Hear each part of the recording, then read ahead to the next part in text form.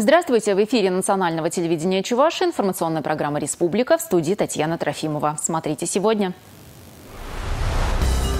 Четверть триллиона рублей для Чувашии. Правительство республики обсудило реализацию национальных проектов в регионе. С лишней хромосомой, но не лишние в обществе. Сегодня во всем мире отмечают День людей с синдромом Дауна. Праздник весны в Доме дружбы отметили Навруз.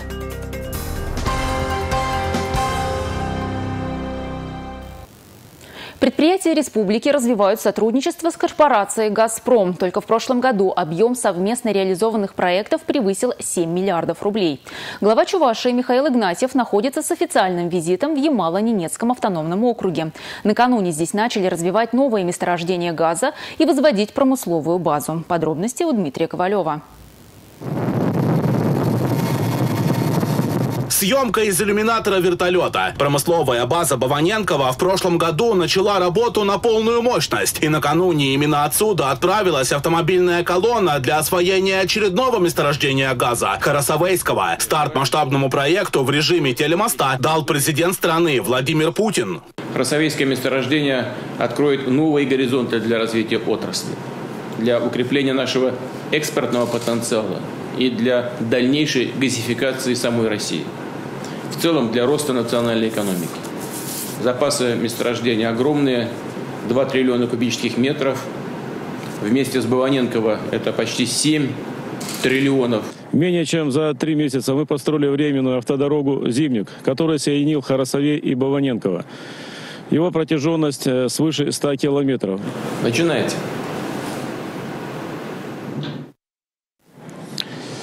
Внимание! Колонии начать движение на Харасаийское месторождение. В колонии более 30 единиц э, техники. Это бульдозеры, самосвалы, эскаваторы, трубовкладчики, плетевозы, Сегодня с Сергеем Меньшиковым встретился и глава республики. В рамках официального визита руководители субъектов посетили промысловую базу и вахтовый поселок Баваненково. Михаил Игнатьев отметил, что в реализацию проектов по добыче газа могут быть вовлечены и предприятия региона. Только на Харасовейском и Баваненковском месторождениях запасов голубого топлива хватит на сто лет вперед. Рассчитываем, что предприятия Чувашии смогут расширить сотрудничество с «Газпромом» при освоении новых месторождений. В частности, электротехнические предприятия, которые уже имеют продолжительный опыт работы на газодобыче, а также машиностроительные предприятия – Сеспель, Промтрактор и предприятия химической отрасли. Сегодня основными поставщиками «Газпрома» являются 13 предприятий Чувашии. Главы регионов увидели и как на Ямале реализуют социально значимые проекты. Детский сад «Газовичок» возведен при поддержке инвесторов и был открыт в начале марта. Для дошколят здесь оборудовали бассейны, сенсорную комнату, скалодром и другие игровые площадки. Чтобы инновационная среда была доступна и инвалидам, установили специальные подъемники и пандусы. Это кадры из сюжета местного телеканала. Настоящий сказочный замок с видом на озеро Янтарное, выстроенный на месте заброшенного свайного поля, распахнул свои двери. 3 марта 2019 года навсегда войдет в историю Надымского района как день рождения детского сада «Газовичок». Опыт в реализации подобных проектов необходимо перенимать, отметил Михаил Игнатьев. Соглашение о взаимодействии между Чувашской республикой и Ямалом было подписано пять лет назад на форуме в Сочи. Тогда западносибирским регионом руководил нынешний министр природных ресурсов ресурсов и экологии страны Дмитрий Кобылкин. Ямал такая территория, которую приезжали осваивать. Э, мы посчитали более 140 национальностей, которые сегодня живут, создали там семьи, э, в том числе жители Республики Чувашия. Вот, очень трудолюбивый народ. Вот, э, нас хорошая диаспора, мы хорошо с ними сотрудничаем. Наши производители электротехнической промышленности, микропроцессорных изделий, Э, автоматики, релейные защиты. Сегодня практически через э, компании нефтегазовой промышленности поставляют. Это для нас рынок продажи через вот эти мощные компании на территории Ямала. И поэтому у нас очень много интересного, будем общаться. Объем товарооборота между регионами продолжает увеличиваться. Дмитрий Ковалев, Республика. 250 миллиардов рублей направить на реализацию национальных проектов Чувашии до 2024 года. Их паспорта сегодня рассмотрели на заседании Совета по стратегическому развитию. Увеличить объемы экспорта услуг в три раза до 9 миллионов долларов в год. Такая задача стоит перед республиканскими властями. На эти цели в федеральном бюджете заложено 6 миллиардов рублей. Проект «Экспорт услуг» новый. Его задача – создать условия для долгосрочного действия в Чувашии. Предусмотрено мероприятие по развитию логистики, снижению административных барьеров, в том числе валютного контроля. Предусмотрены новые меры поддержки э, экспортеров. Сейчас мы э, совместно с нашими предприятиями организациями потенциальными э, экспортерами и существующими экспортерами. Мы уже работаем по увеличению экспорта и в том числе по разработке корпоративных программ повышения конкурентоспособности. Другой проект «Кадры для цифровой экономики» также стартует впервые. Реализовывать его планируют по двум направлениям. Одно из них – выдача персональных цифровых сертификатов. Потратить выплаты можно будет на образование, соответствующее критериям, которые в настоящее время прорабатываются. Форма обучения может быть выбрана любая на базе одной из организаций, как очная, так и заочная, и дистанционная. Для получения сертификата потребуется подать заявку в электронном виде специализированному оператору. Что касается размера стимулирующих выплат, на данный момент идет речь от 10 э, тысяч рублей на человека. Второе направление – создать условия для подготовки цифровых специалистов с раннего возраста. Оно будет реализовано путем повышения активности общеобразовательных организаций, э, профессиональных образовательных организаций, организаций доп образования детей Чувашской Республики по участию в предоставлении заявок на получение различных э, видов грантовой поддержки федерального уровня. Реализация других 10 проектов будет продолжена. Их паспорта доработаны в соответствии с майскими указами главы государства. Татьяна Леонтьева, Андрей Спиридонов, Республика. Сегодня, 21 марта, День солнечных людей. В этот день взрослые и дети по всему миру призывают других быть чуточку добрее к тем, кто в этом очень нуждается. Один на 700. Практически каждый 700 ребенок в мире рождается с лишней 21 хромосомой. Ужасающая статистика. 85% детей с синдромом Дауна мамы оставляют в роддоме. Но наш сюжет сегодня не о них, а о тех сильных родителях, которые полюбили своих детей такими, какие они есть, и делают все для того, чтобы их дети имели такие же возможности, как и все. Настя – второй ребенок в семье Щеглевых. Солнечной девочке – два года. Такая ласковая такая замечательная. У нас вот синдром Дауна, он как-то э, само собой отклонилась сразу на второй план, потому что борьба и шла за жизнь.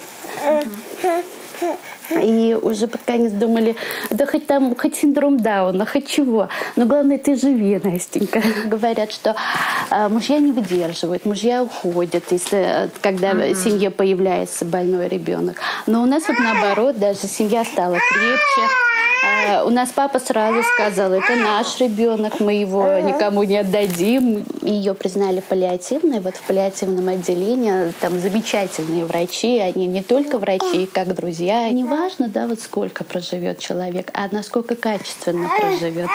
Поэтому мы как бы не ограничиваем Настеньку и в общении. Если иногда мы это, позволяем себе ездить и в гости, им приходится нелегко в нашем мире, но родители считают, что эти дети присланы с напоминанием быть терпимее и добрее. Они могут учиться, заниматься спортом, осваивать профессии и науки. Конечно, им нужны помощь и поддержка родителей, а родителям, в свою очередь, помощь и поддержка со стороны общества и государства. Ведь от появления особенного ребенка не застрахован никто. Татьяна Ильина тоже мама солнечного мальчика Илюши.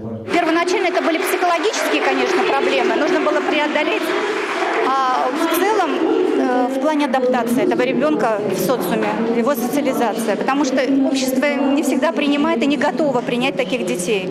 Дети особенные, они отличаются от других. Мы ходим в детский садик, обычный логопедический детский садик. У нас инклюзивная э, группа, он один-единственный с такими особенностями.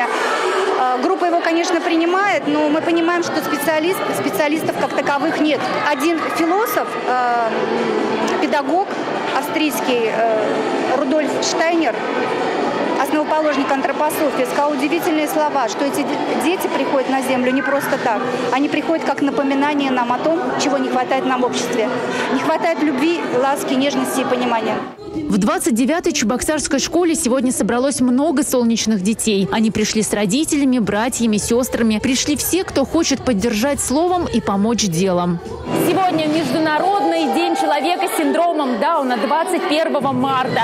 Весь мир присоединился к акции с разными носками. Чебоксары в том числе.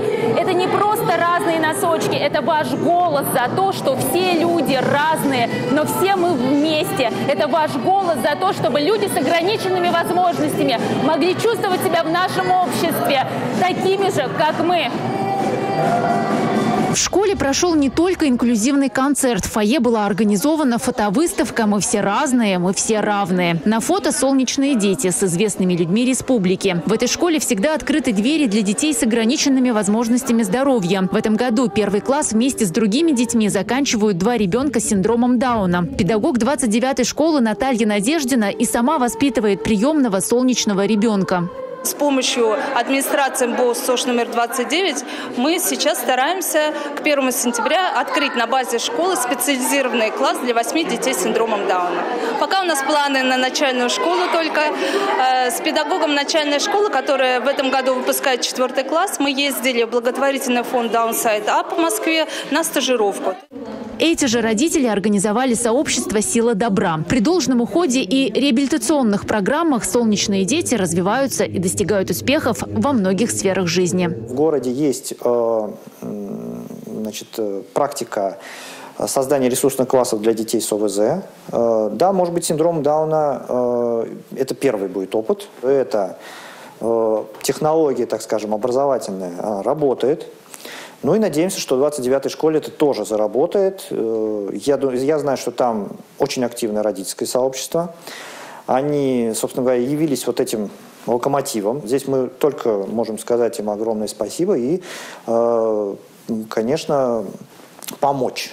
Какая нужна будет именно методическая составляющая, методическая помощь э, с коррекционной нашей школы номер один – вопрос уже тоже обсуждался. Они готовы всесторонне помочь. Татьяна Трофимова, Игорь Зверев, Республика.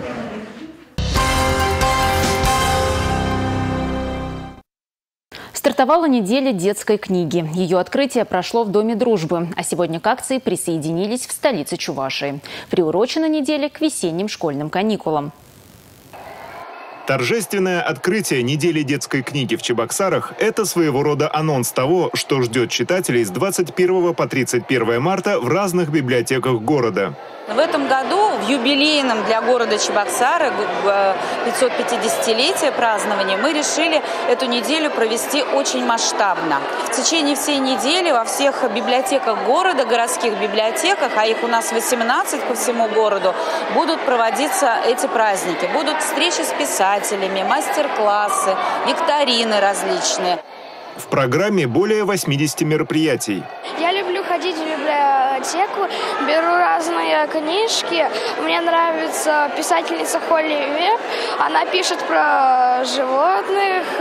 Я предпочитаю читать больше книги, чем сидеть в телефоне. Также в эту неделю издательства и книжные магазины делают скидки на детскую литературу и представляют новинки. Вы посмотрите, ребенок может взять вот эту книгу и изучить историю чувашского костюма. И он даже может сам попробовать создать этот костюм. Это книга-раскраска. И таких интерактивных книг выпускается немало. Писатели и издатели учитывают в своей работе интересы нынешнего поколения. Ведь не все же сидят в гаджетах. Есть и те, кто любит хорошую литературу. Сегодняшняя встреча тому подтверждение. В Чебоксарской детской художественной школе имени Ильи Юрьева проходят юрьевские чтения. Целую неделю здесь идут экскурсии и мастер-классы. Подробности в нашем репортаже. Это уже герои наших русских городов. У каждого города свой так выглядел герб Чебоксар образца 1781 года, а вот так 1998. Его автор – чувашский художник и геральдист Или Юрьев. Ему же принадлежат и эскизы госсимволов республики. Красочку на кисточку вот так вот. В роли художников попробовали себя воспитанники 180-го Чебоксарского детсада. Красное древо жизни и три солнца на желтом фоне. Ребята старались максимально скопировать оригинал. Ксюша Мышова закончила свой рисунок одной из первых. Он не так сложно рисуется, Он очень легко рисуется.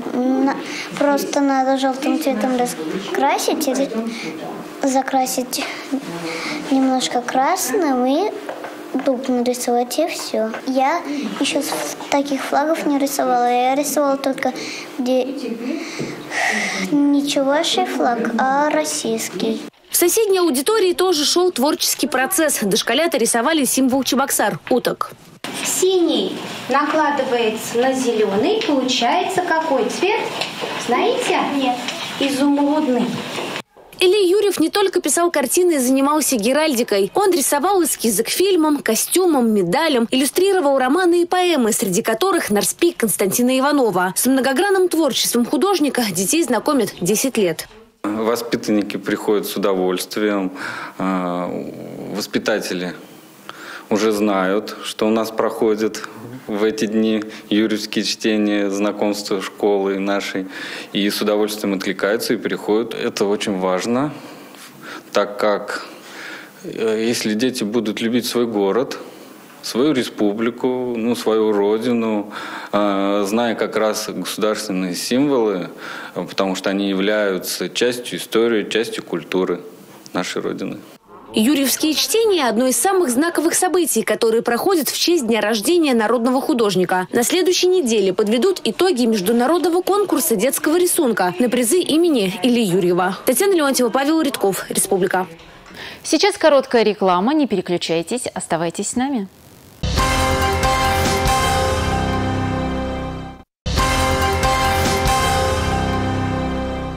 Дегустацию школьного питания провели в 37-й школе столицы. Вкус и качество еды оценили родители, директора школ и депутаты. За технологическим процессом наблюдала и наша съемочная группа.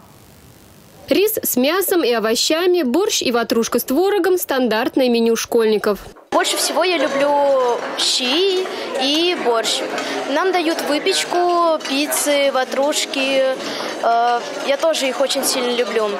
Э, и в основном наши блюда всегда горячие. В 37-й школе Чебоксар обучаются почти 1200 ребят. И, пожалуй, единственное, от чего отказывается большинство – рыба. Они говорят, мы рыбу не любим, а ведь рыба красная, говорю, полезная для организма. А, и спрашиваю, а дома у вас рыбные блюда мама готовит? Они говорят, нет, у нас больше сосиски, у нас больше макароны. И поэтому, конечно, мы стараемся, чтобы дети поели. И очень надо, чтобы родители были грамотными, а, чтобы блюда были качественными. Их надо приучать уже дома. И, конечно же, если дома рыбу кушает ребенок, постоянно видит это блюдо, и здесь будет кушать. Участники дегустации, в свою очередь, не только оценили блюдо на вкус и внешний вид, но и проследили за технологическим процессом приготовления. Все расставлено по своим местам. Каждые блюда, потом хранение продуктов, товарное соседство. Все по отдельным помещениям, по отдельным холодильникам. Это очень не понравилось. Э, потом санитарное состояние идеальное, чисто все аккуратно, все блестит, ни одной пылинки, ни одной соринки нигде не увидела. Подобные проверки не редкость. В 2018 году депутаты побывали во всех школах столицы, а уже в этом году по независимой оценке Общероссийского народного фронта Чебоксары заняли первое место в Приволжском федеральном округе по организации горячего питания школьников и третье по стране.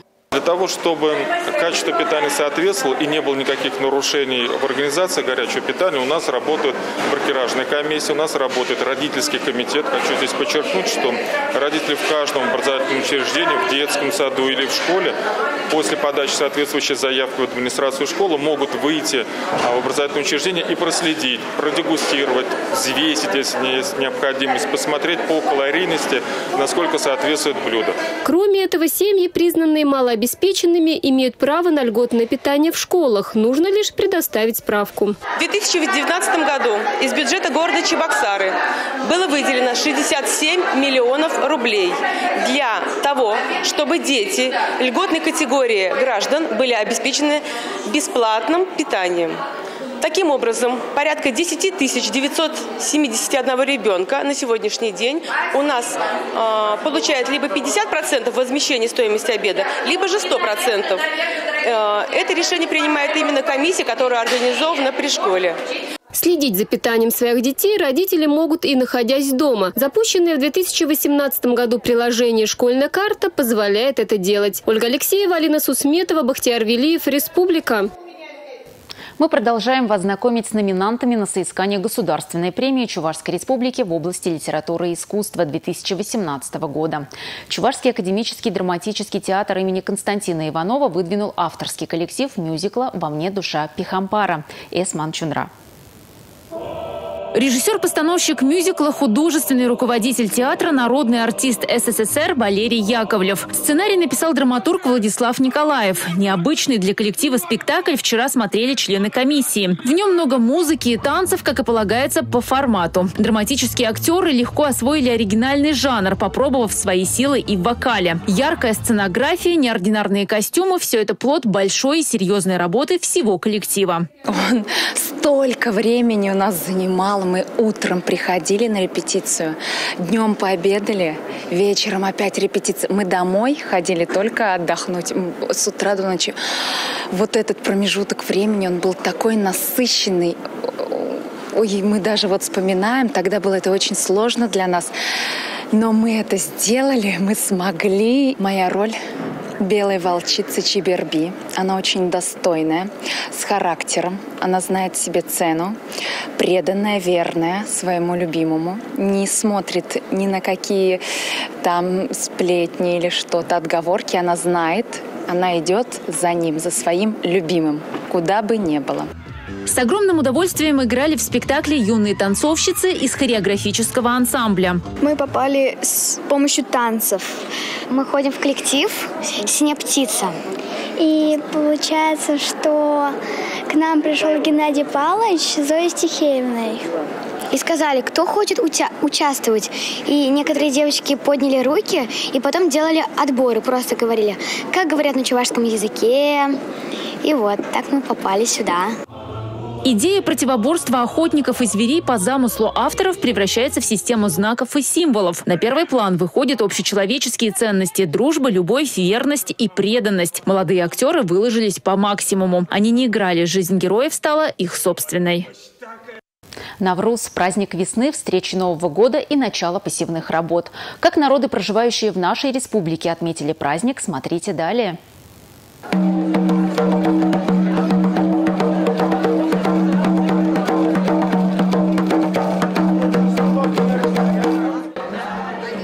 Трех тысяч лет на Земле отмечают Навруз. По традиции, до наступления этого праздника нужно убраться дома и рассчитаться с долгами. Сам Навруз стол должен ломиться от изысканных блюд. Считается, что чем больше размаху праздника, тем более богатый урожай будет осенью. Ну и, конечно, какой праздник без народных танцев.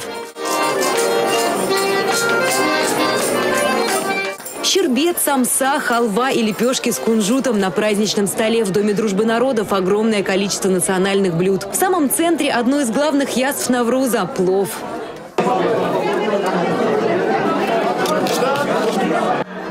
Еще одно традиционное блюдо праздника – сумаляк. Готовится оно только весной. На его приготовление требуются сутки. Сумаляк – это национальное блюдо. Это когда в Навруза праздник, это пшеница, там выращивается дома. Только сохраняет вот такой э, темноте, наращивать его, чтобы солнца никакой этот ярость не было. И когда вот вырастет, и его этот, отдельно делать вот, от этого, потом э, сваривают, и будет готово. Алишер Иргашев приехал из Узбекистана, живет в столице Чувашии вот уже 6 лет. Навруз отмечает каждый год в Чебоксарах, как и Худабаш Алиев. Мы представители Республики Таджикистана. Нам очень приятно находиться здесь, в Республике Чувашии. Мы сами учимся в ПГТУ, Марпасаде. А, И мы сегодня пришли тут отпраздновать. Очень приятно нас встретили, тут нас угостили. Сегодня мы хотим отметить этот праздник с русским народом. Все вместе. Нам очень приятно, и мы очень рады, что нам создали такую прекрасную атмосферу. Азербайджан, Туркменистан, Армения, Татарстан, Узбекистан. Всего на праздник в Чебоксары съехались более 500 человек. Взаимопроникновение культур всегда повод для размышления. Какими бы ни были национальные традиции и обычаи, в основе их лежит дружба народов, их желание жить в мире и согласии. В фойе организовали специальную выставку «Украшения, расписная посуда, народные костюмы». Перед участниками и гостями праздника открылась удивительно яркая картина.